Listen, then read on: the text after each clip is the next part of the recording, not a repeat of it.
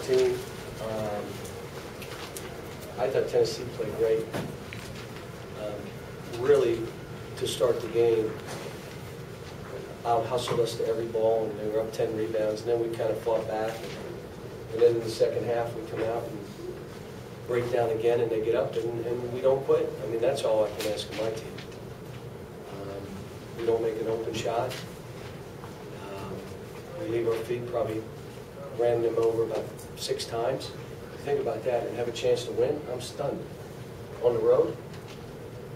So, you know, we, we had a couple breakdowns that just drove me crazy, stuff that we'd worked on. And I think we had a couple guys that were uh, asleep.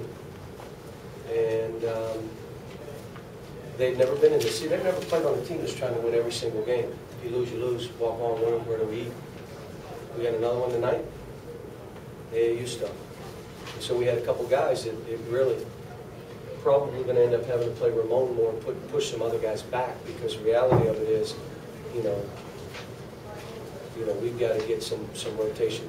But the other stuff was, you know, was pretty good. Questions? John, it's the uh, 14 in a row you guys had trouble shooting from downtown. Trend, coincidence? You are what your stats say. You are what your record is. And as a player, you are what your stat says. So we gotta, my thing is getting guys in the gym more. We don't practice long hours right now. Get in the gym and shoot if you wanna play. There's not a, a birthright to be on the floor just missing every shot. You can't miss them all.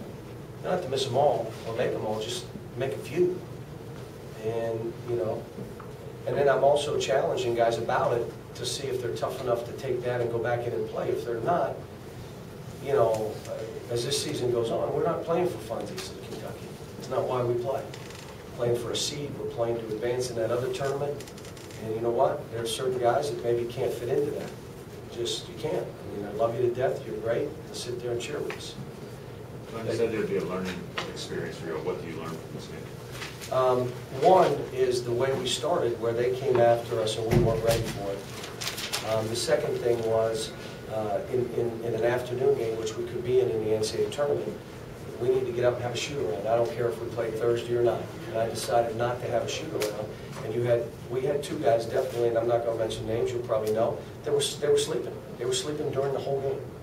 They didn't have any, they just were, they, and when you're in that mode during a game, you can't change. You're, that's who you are, you change the next game.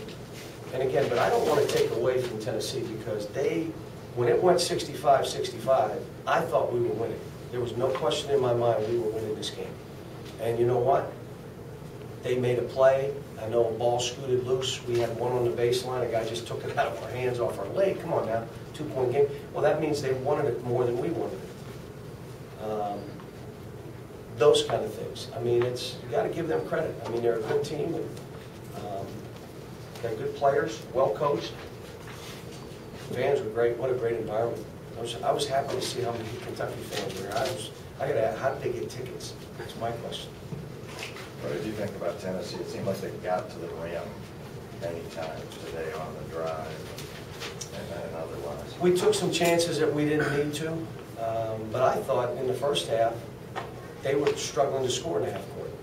And I told them, I, I gave them seven plays that we gave them baskets, that as bad as we played offensively, it should have been a two, two-point game, one way or another.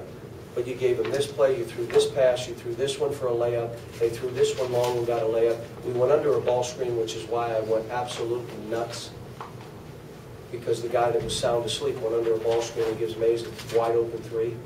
Um, And so we did that kind of stuff. Well, you're going to be down. But again, let me just tell you, the probably if you were a fan and you're watching that on TV, that was a great game. For me sitting there, when we went down 19, I'm like just shaking my head saying, this is, this is, we're going to find out now what we are. And what we found out is, you know, we're not bad. We got a chance. Um, And, and when you shoot two for 22 and it's 65-65, wow. You know, and and again, I mean, we got to find that guy. I thought Darius Miller played well, did good stuff. Now, the one where he held the ball and almost shoot an air ball, I take him out. I said, look, you almost shot an air ball. I'm not going to play you. I don't care that you miss. Miss it long, short, miss it, but don't. And then he went back in, and, he, and that shows me toughness. He went back in, he made shots. It's easy, sorry, I didn't mean to cut you off. When you're two for twenty-two, it's easy for us to say, well, maybe you shouldn't shoot that many. But you, for, for the most part, the Well, shots you wait, how- took. why do you, why do you think you end up shooting that many? Yeah, Wh- well, because that's, that's what you got. I'm just asking you, the So, shots so you you got? can, so now you can pass up a wide open shot, drive in there and charge somebody, which we did. Or you can say, shoot the ball, three things can happen. You make it, you miss it and we rebound it, you miss it and they rebound it, I like two of three. And then you got guys that can make threes, but this is high-level stuff now. We're we're 27 and 2, the number two in the country. These guys have never been in this. You don't think they're feeling some of that stuff? Well, good, now I need to know who can deal with that feel, because it's going to feel that way in about another three weeks. John, Now, who can play and who can't. John, how did you feel the John Wall deal when you got down 19 and five? Oh, he was unbelievable. I mean, he was unbelievable. But I thought, I thought uh, the way they played DeMarcus Cousins, they ended up putting two guys on him. I thought he was terrific. I mean, He did some things. I thought Daniel played well. I mean, uh, Eric Bledsoe played okay. I mean, he, you know, and at the end, when it was gut check time and trying to win the game, I thought he played really well. But we, what I told our guys, what we got to figure out is 40 minutes of how we play when we're trying to win a game. And, and, but they've never done that. They were AAU players seven months ago.